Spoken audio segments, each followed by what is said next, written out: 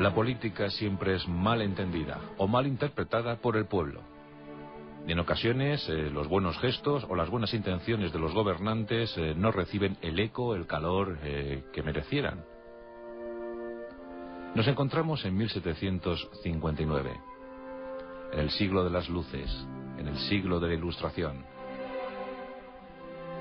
El gobernante de Nápoles se convierte en Carlos III de España por mor del destino y llega, y llega a su país dispuesto a hacer historia, dispuesto a levantar un reino de sus cenizas, de su oscurantismo, de su anclaje histórico en el pasado. España no evolucionaba a ritmo adecuado, no progresaba como otros países europeos. Y Carlos III llega con esos aires renovadores, con esos aires eh, de libertad, de progreso, de ilustración, un excelente monarca que pasó a la historia como el rey alcalde, porque dotó a Madrid de un esplendor inusitado. Levantó edificaciones que aún, hoy perduran, mandó eh, esculpir monumentos. Y ahí están, sobreponiéndose al paso de los años, al paso de los siglos, a las guerras, a los azotes de la historia, Carlos III, un rey de imperecedero recuerdo, al que le debemos mucho los españoles. Pero en su tiempo no fue comprendido. Y recibió muchos varapalos, principalmente a cargo de la población de Madrid, esa ciudad a la que tanto quiso. Carlos III desembarcó en España en ese año de 1759 y vino rodeado por diversos asesores, principalmente italianos. Eran hombres eh, dispuestos a servir a su rey y a su nueva patria. Pero en España siempre hemos tenido recelo por el extranjero.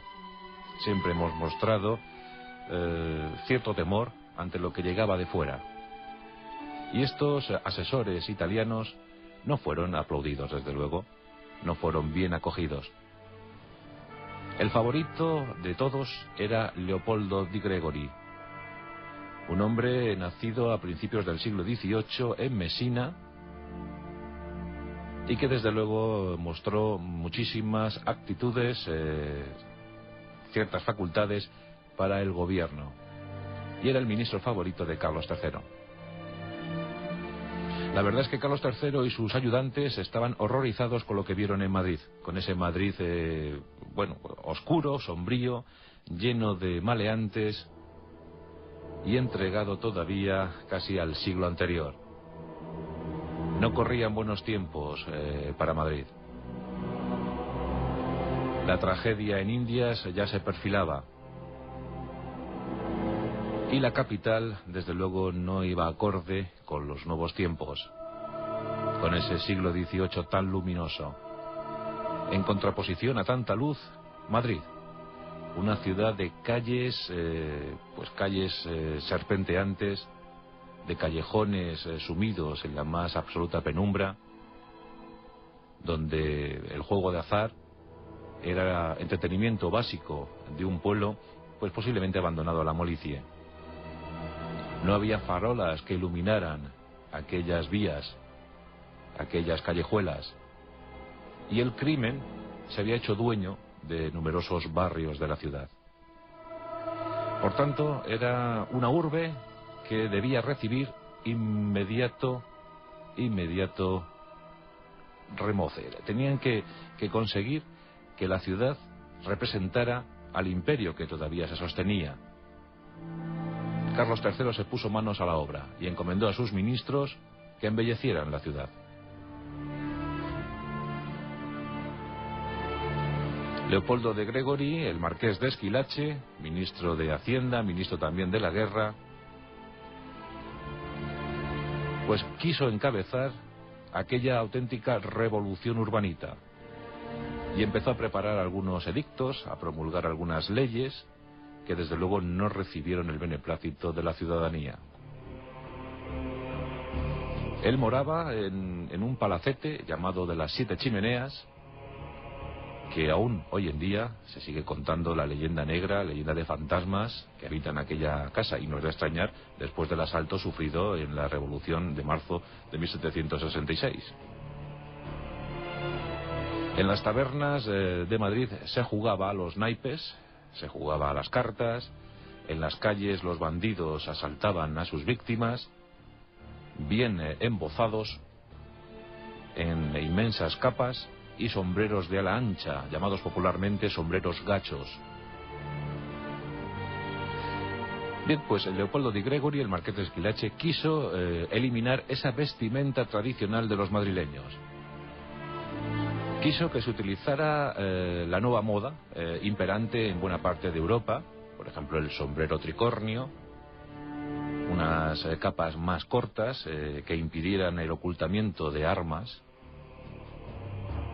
En definitiva, quiso prohibir, quiso erradicar de un tajo esa gran capa española y el sombrero de ala ancha. Quiso situar farolas que iluminaran las calles de Madrid. Y quiso sobre todo limpiar de bandidos y limpiar físicamente de basura tanta callejuela además eh, calles desprovistas de muchos casos de pues de subsuelo de subsuelo por el que transitaran los desperdicios. Claro Madrid era una, una ciudad eh, pues muy muy desasistida la verdad. Lo cierto es que, que, daba un poquito de pena y para cualquier luminoso ilustrado del siglo XVIII que llegara a Madrid pues eso era, era un susto muy difícil eh, de sobreponerse ¿no? ante tanto espectáculo. Lo cierto es que el 10 de marzo de 1766 aparecen esos edictos empapelando las calles de la ciudad, de la capital del reino. Y los madrileños, bien instigados por masones, Verbigracia el conde de Aranda, o bien alentados por imprentas de los jesuitas, que de todo se habló, de todo hubo, pues los madrileños dijeron no, y empezaron a provocar a las guarniciones de Madrid. Se paseaban embozados ante los cuarteles, era casi como una osadía. Los oficiales eh, les increpaban, les decían que se desproveyeran de aquellas capas, de aquellos sombreros y que vistieran como dictaban las nuevas, las, nuevas normas. Y precisamente en uno de esos días, un grupo de madrileños embozados, ante eh, la petición de un oficial, gritaron al unísono, no nos da la gana. Era la rebeldía del pueblo de Madrid. El 23 de marzo de 1766, 25.000 madrileños tomaban las calles. Era una inmensa manifestación popular como jamás antes había visto y el objetivo de la crítica era el marqués de Esquilache. Eran las nuevas leyes dictadas por el gobierno de Carlos III. 25.000 madrileños protestando, vociferando, todo un clamor los hombres del rey se refugiaron en el Palacio Real. ¿Qué estaba ocurriendo? ¿Pero qué le pasaba a Madrid? ¿Acaso no querían eh, mejorar su ciudad? No, simplemente era el temor, era el odio injustificado al extranjero, al poder extranjero.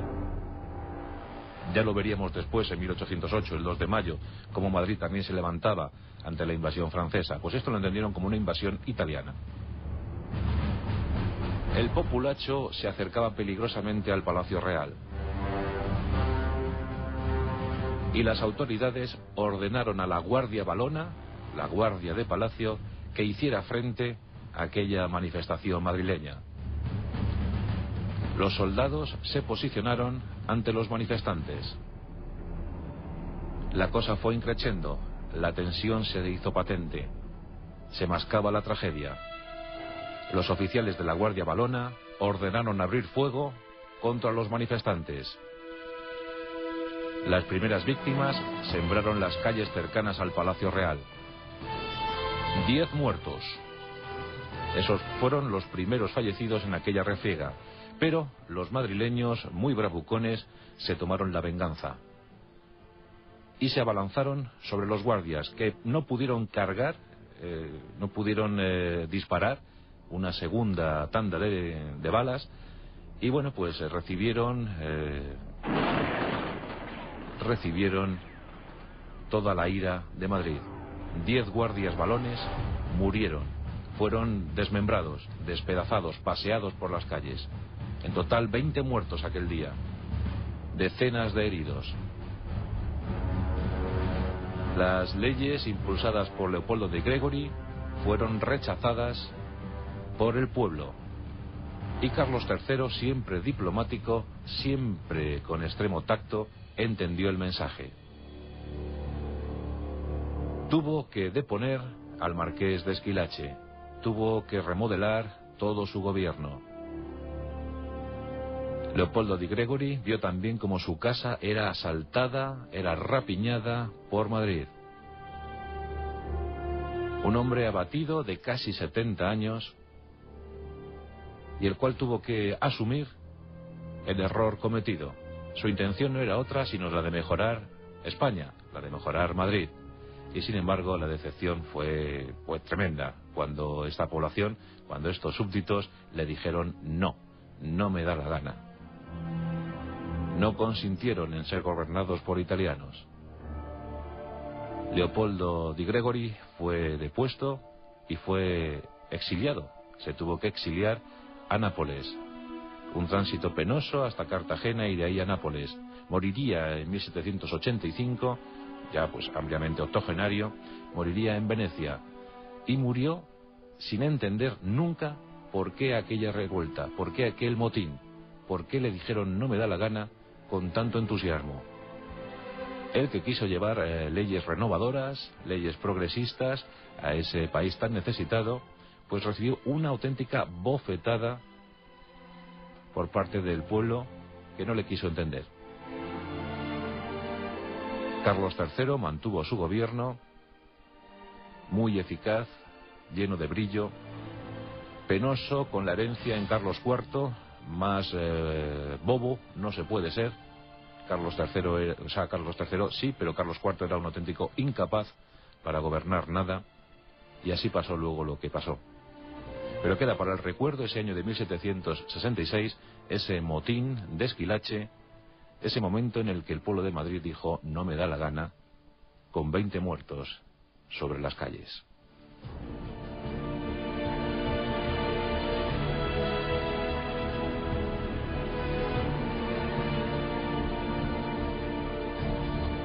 La Rosa de los Vientos, con Juan Antonio Cebrián, en Onda Cero.